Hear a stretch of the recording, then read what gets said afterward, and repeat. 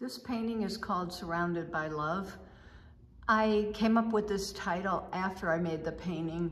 Um, and I absolutely love the painting because it's this wonderful feel-good painting about what it might have been at the end of the day or in the middle of the night and um, just feelings about being secure and safe and loved and in from the natural world, what would that be? So I made it being uh, a whole big old string of dancing flowers, just kind of dancing through the environment.